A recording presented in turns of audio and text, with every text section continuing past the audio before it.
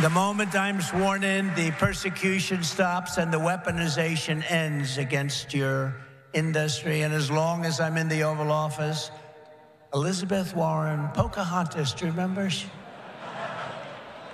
yes, I'm an Indian. Yes, she said, I'm an Indian. Why are you an Indian? You don't look like an Indian. No, no, my mother told me I have high cheekbones. Oh, that's why she was an Indian. So I named her Pocahontas. Elizabeth Warren and her goons, and she's very nasty to you. She hates your people. She hates everything about you. Will keep their hands off Bitcoin. They're going to keep their hands off crypto. They're going to let it grow. We're going to let it grow. On day one, I will fire Gary Gensler and appoint a new SEC chairman.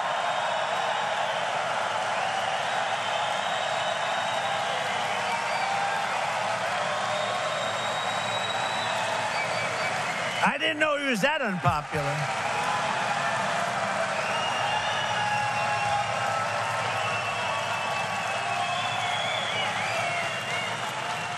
Well, I didn't know he was that unpopular. Let me say it again. On day one, I will fire Gary Gensler.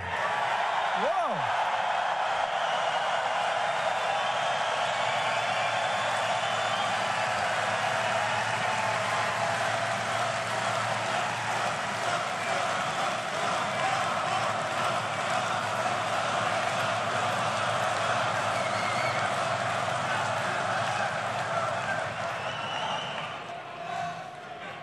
And we'll appoint a new SEC chairman who believes America should build the future, not block the future, which is what they're doing.